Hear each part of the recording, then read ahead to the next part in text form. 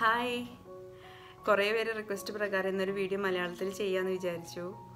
മലയാളം പറയാത്തത് ഒന്നുകൊണ്ടൊന്നല്ല നോൺ മലയാളി സൈറ്റിലെ എല്ലാവർക്കും വീഡിയോ കാണുമ്പോൾ മനസ്സിലാവണം വീഡിയോസ് കാണണം എന്നൊക്കെയുള്ളൊരു ആഗ്രഹം കൊണ്ട് തന്നെ ജസ്റ്റ് കോമൺ ആയിട്ടുള്ള ലാംഗ്വേജ് യൂസ് ചെയ്തു എന്നേ ഉള്ളൂ. അല്ലാണ്ട് മലയാളത്തിനോട് ദേഷ്യമോ മലയാളം സംസാരിക്കാതെ അങ്ങനൊന്നുമില്ല. ഞങ്ങൾ വീട്ടിൽ ഹസ്ബൻഡും ഞാനും മക്കളൊക്കെ ഞങ്ങൾ തമ്മിൽ മലയാളം തന്നെ സംസാരിക്കാറ്. അപ്പോൾ അതുകൊണ്ടാണ് ഇംഗ്ലീഷിൽ കണ്ടിന്യൂ ചെയ്യണത്. പിന്നെ മലയാളത്തിൽ റിക്വസ്റ്റ് കിട്ടുന്ന അതേപോലെ തന്നെ ഹിന്ദിയിലും തമിഴിലൊക്കെ വരാറുണ്ടായിരുന്നു. അപ്പോൾ തമിഴിൽ പ്രൊനൗൺസിയേഷൻ കുറച്ച് പ്രശ്നം വന്നുകൊണ്ട് അത് ഒഴിവാക്കേണ്ടി വന്നു. അപ്പോൾ ഇംഗ്ലീഷിൽ യൂസ് ചെയ്യണോണ്ട് തന്നെ കുറേ നോർത്ത് ഇന്ത്യൻ വ്യൂവേഴ്സും ഔട്ട്സൈഡ് ഇന്ത്യ അതായത് പുറത്തുള്ള ഇന്ത്യയ്ക്ക് പുറത്തുള്ള കുറേ വ്യൂവേഴ്സ് ഉണ്ട്. അപ്പോൾ ഇന്ത്യന്ന് ആയതുകൊണ്ട് ഹിന്ദിയിലൊന്ന് സംസാരിക്കുമെന്ന് വെച്ചിട്ട് കുറേ റിക്വസ്റ്റ് വന്നിരുന്നു. അപ്പോൾ അതുകൊണ്ട് തന്നെ ഈ വീഡിയോ ആസ് യൂഷ്വൽ ഇംഗ്ലീഷിലും ഹിന്ദിയിലും ചെയ്തിട്ടുണ്ട്. താഴെ ഞാൻ ഡിസ്ക്രിപ്ഷൻ ബോക്സിൽ ലിങ്ക് കൊടുത്തിട്ടുണ്ട്. കാണുന്നുണ്ടെങ്കിൽ കാണാം. ഓക്കെ. അപ്പോൾ ഇന്നത്തെ വീഡിയോ എന്ന് പറഞ്ഞാൽ റെസിപ്പി വീഡിയോ ആണ്. രണ്ട് ഐറ്റംസ് അതായത് ലബിനെ പനീർ. ഇത് രണ്ടും എങ്ങനെ എളുപ്പത്തിൽ നമുക്ക് വീട്ടിലുണ്ടാക്കാമെന്നാണ് കാണിച്ചിട്ടുള്ളത്. ലബിനെ ഞാൻ കുറേ തവണ എന്റെ റെസിപ്പീസിലൊക്കെ യൂസ് ചെയ്തിട്ടുണ്ടായിരുന്നു. അപ്പോൾ അന്നൊക്കെ കുറേ പേര് ചോദിച്ചിരുന്നു എന്താ ഈ ലബിനെ? ഇത് എവിടുന്ന വാങ്ങാൻ കിട്ടിയത്? എന്ത് സാധനം എന്നൊക്കെ? അപ്പോൾ അത് എങ്ങനെ വീട്ടിൽ എളുപ്പത്തിൽ ഉണ്ടാക്കുക എന്നുള്ളതാണ് കാണിച്ചിട്ടുള്ളത്. അതൊന്നുമല്ല നല്ല കട്ടിയുള്ള തൈരാണ്. അപ്പോൾ അത് യൂസ് ചെയ്തിട്ട് ഒരു ഹെൽത്തി ബ്രേക്ക്ഫാസ്റ്റ് റെസിപ്പിയും അതിന്റെ കൂടെ ഉണ്ട് പിന്നെ ഹോം മെയ്ഡ് പനീർ അതും നല്ല എളുപ്പമാണ്. ഞാൻ വീഡിയോയിൽ കാണിച്ചിട്ടുണ്ട്. അറിയാത്തവർ ട്രൈ ചെയ്ത് നോക്കുക. അതിന്റെ കൂടെ തന്നെ പനീർ യൂസ് ചെയ്തിട്ട് ഒരു കറി. അപ്പോൾ ഇതെല്ലാവരും ട്രൈ ചെയ്ത് നോക്കണം. ഫീഡ്ബാക്ക് അറിയിക്കാൻ മറക്കരുത്. ഷെയർ ചെയ്യാനും സബ്സ്ക്രൈബ് ചെയ്യാനും മറക്കരുത്. താങ്ക് യു സോ മച്ച് നിങ്ങളെല്ലാ സ്നേഹത്തിനും സപ്പോർട്ടിനും താങ്ക് യു സോ മച്ച് അപ്പോൾ ലബിനെ എങ്ങനെ ഉണ്ടാക്കാം നമുക്ക് നോക്കാം. ഒരു ബൗളിന് മേലെ ഒരു സ്ട്രെയിനറോ ഞാനിവിടെ യൂസ് ചെയ്തിട്ടുള്ള ചോറ് ഊറ്റി വെക്കുന്ന പാത്രമാണ്. അതിലേക്ക് മസ്ലിൻ ക്ലോത്ത് അല്ലെങ്കിൽ ചീസ് ക്ലോത്ത് എന്ന് പറഞ്ഞ് വാങ്ങാൻ കിട്ടും. അല്ലെങ്കിൽ എന്തെങ്കിലും കട്ടി കുറഞ്ഞ കോട്ടൺ തുണി ആയാലും കുഴപ്പമില്ല. നല്ല വൃത്തിയായിരിക്കണം. എന്നിട്ട് അത് വെച്ച് കഴിഞ്ഞിട്ട് അതിലേക്ക് ഈ തൈര് ഒഴിച്ചു വെക്കണം. ഈ അടിയിലുള്ള ബൗളിലാണ് വെള്ളം കളക്ട് ചെയ്ത് വരിക. ഇത് ക്ലോസ് ചെയ്തിട്ട് നമ്മൾ ഫ്രിഡ്ജിൽ ഇരുപത്തിനാല് മണിക്കൂർ വെക്കണം. അതായത് ഒരു ദിവസം. എന്നാലേ അത്രയും കട്ടിയായി കിട്ടുള്ളൂ. അതാണ് ലബനെ. ഇനി ലബനെ യൂസ് ചെയ്തിട്ട് ഒരു ഹെൽത്തി ബ്രേക്ക്ഫാസ്റ്റ് പാർഫെ റെഡിയാക്കാം ഇത് ചിയ സീഡ്സ് ആണ്. നമ്മളെ നാട്ടിൽ ബേസിൽ സീഡ്സ് പറഞ്ഞിട്ടും വാങ്ങാൻ കിട്ടും. ഒരു സ്പൂൺ മതി ഒരു ഗ്ലാസ് സെർവിങ്ങിന് വേണ്ടിയിട്ട്. കാൽ ഗ്ലാസ് വെള്ളത്തിൽ കുറച്ച് നേരം കുതിർത്താൻ വെക്കണം.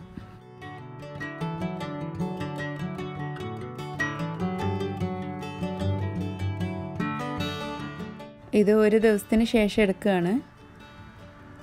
അടിയിൽ അത്രയും വെള്ളം കളക്ട് ചെയ്ത് വന്നിട്ടുണ്ട്. ഇത് നല്ല കട്ടിയും നല്ല ക്രീമിയായി വന്നിട്ടുണ്ട്. ഇതാണ് ലബനെ. ഇത് നമുക്ക് പിന്നീട് യൂസ് ചെയ്യാൻ ഒരു ഗ്ലാസ് ബൗളിൽ ഫ്രിഡ്ജിൽ സ്റ്റോർ ചെയ്ത് വെക്കാം.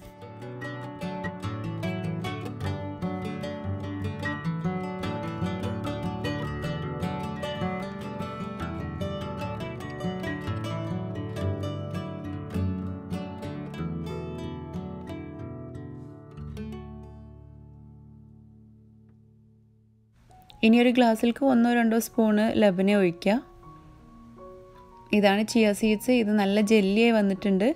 ഇത് ഒന്നോ രണ്ടോ സ്പൂണ് ഇതും ഒഴിക്കുക ഇതൊരു ബ്രേക്ക്ഫാസ്റ്റ് സീരിയലാണ്. ഇതിന് പകരം നിങ്ങൾക്ക് റോസ്റ്റഡ് ഓട്സോ അല്ലെങ്കിൽ ഗ്രനോല അങ്ങനെ എന്തെങ്കിലുമൊക്കെ ഇടാം. വീണ്ടും കുറച്ച് ലബനെ ഒഴിക്കുക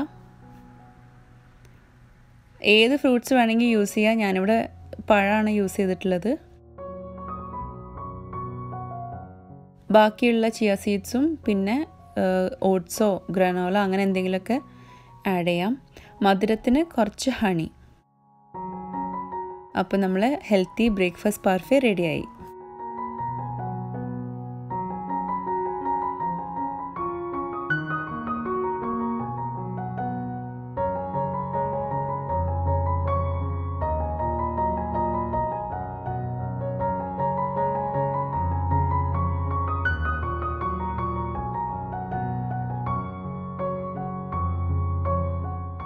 അടുത്തത് പനീറാണ്.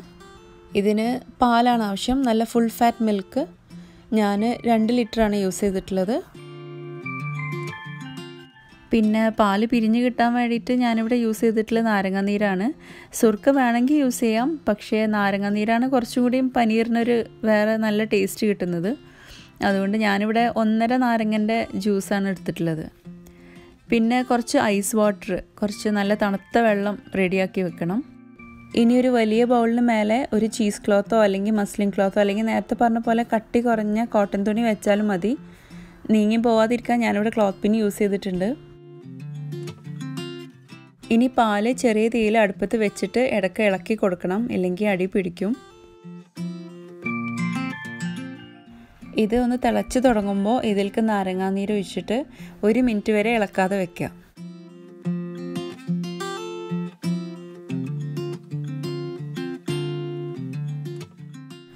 പിന്നെ ഇത് നന്നായിട്ടൊന്ന് ഇളക്കി കഴിഞ്ഞാൽ കാണാം പാലിങ്ങനെ പിരിഞ്ഞു വരുന്നത്. എന്നിട്ട് അതെടുത്തിട്ട് ഊറ്റുക.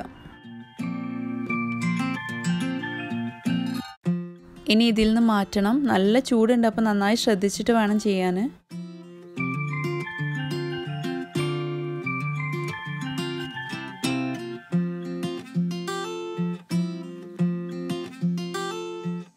ഇനി ഐസ് വാട്ടറിൽ കുറച്ച് നേരം ഒന്ന് മുക്കി വെക്കാം.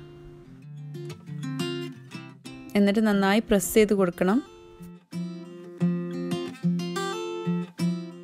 ഇനി ഇതിലത്തെ വെള്ളം കംപ്ലീറ്റ് ആയി പോകാൻ വേണ്ടിയിട്ട് ഞാൻ വൃത്തിയാക്കിയിട്ട് സിങ്കിന്റെ മേലെ വെച്ചിട്ട് അതിനു മേലെ എന്തെങ്കിലും നല്ല വെയിറ്റ് ഉള്ള എന്തെങ്കിലും വെക്കണം. എന്നാലേ ആ ഒരു ഷേപ്പ് നമുക്ക് കിട്ടുകയുള്ളൂ പിന്നെ അതുപോലെ വെള്ളം കംപ്ലീറ്റ് ആയി പോയി കിട്ടുകയുള്ളൂ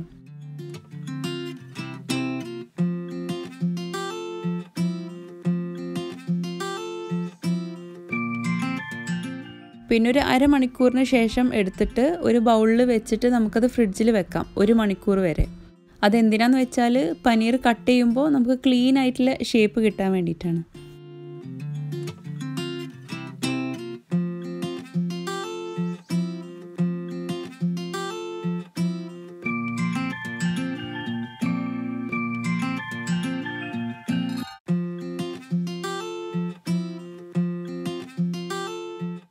ഒരു മണിക്കൂർ ഫ്രിഡ്ജിൽ വെച്ചതിന് ശേഷം നമുക്കത് എടുത്തിട്ട് ഇഷ്ടമുള്ള ഷേപ്പിൽ കട്ട് ചെയ്തെടുക്കാം.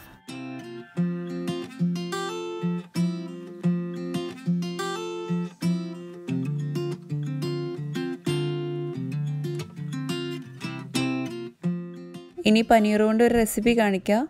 ഒരു ബൗളിലേക്ക് എല്ലാ പനീർ ക്യൂബ്സും ഇട്ടിട്ട് അതിലേക്ക് ഒരു സ്പൂൺ മുളക് പൊടിയും അര ടീസ്പൂൺ മഞ്ഞൾപ്പൊടിയും ഉപ്പും ചേർത്തിട്ട് ജസ്റ്റ് ഒന്ന് ഇളക്കി കൊടുക്കുക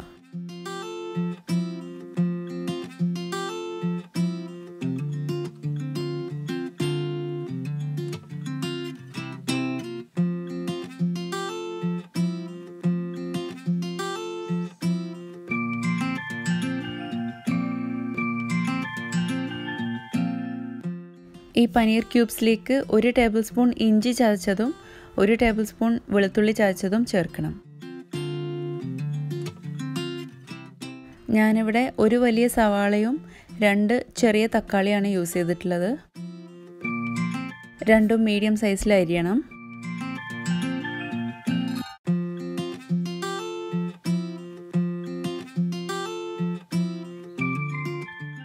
ഇനി ഒരു പാൻ ചൂടാക്കിയിട്ട് അതിലേക്ക് കുറച്ച് നെയ്യ് ഒഴിച്ചിട്ട് പനീർ ക്യൂബ്സ് ഫ്രൈ ചെയ്തെടുക്കാം.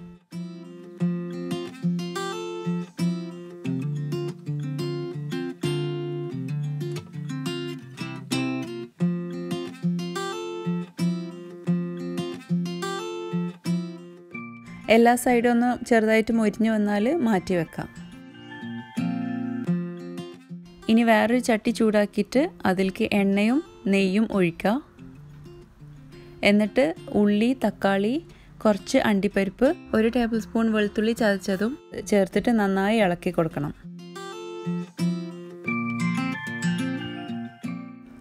ഉള്ളി നന്നായി സോഫ്റ്റായി കഴിഞ്ഞാൽ രണ്ട് teaspoon Kashmiri red chilli powder ചേർക്കണം.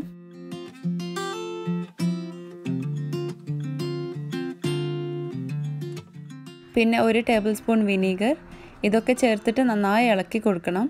ഒരു രണ്ട് മിനിറ്റ് ഇളക്കിയതിന് ശേഷം അതൊരു ട്രേയിലേക്ക് മാറ്റി വെക്കാം നമ്മളിത് അരച്ചെടുക്കുന്നുണ്ട്. അതുകൊണ്ട് തണക്കാൻ വേണ്ടിയിട്ട് ഒരു ട്രേയിലേക്ക് മാറ്റി വെക്കണം.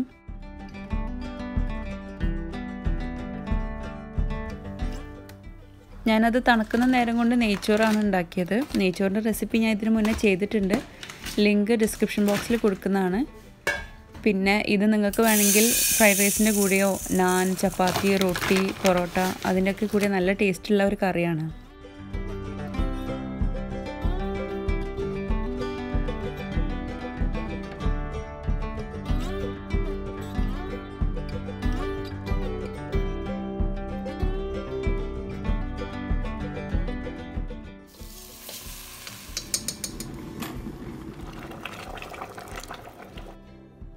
ഇനി ഉള്ളിയൊക്കെ ഒന്ന് തണുത്ത് കഴിഞ്ഞാൽ മിക്സിയിലിട്ടിട്ട് അരക്കപ്പ് ഫ്രഷ് ക്രീമും അരക്കപ്പ് വെള്ളം ചേർത്തിട്ട് നന്നായി പേസ്റ്റ് പോലെ അരച്ചെടുക്കാം.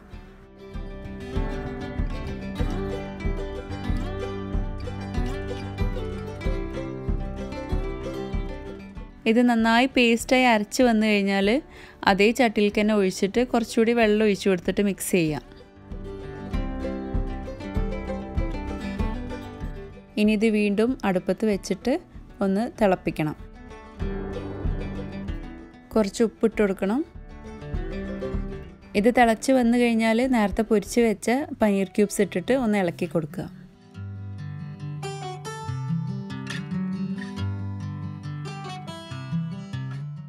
അങ്ങനെ ഇത് റെഡി ആയിട്ടുണ്ട്.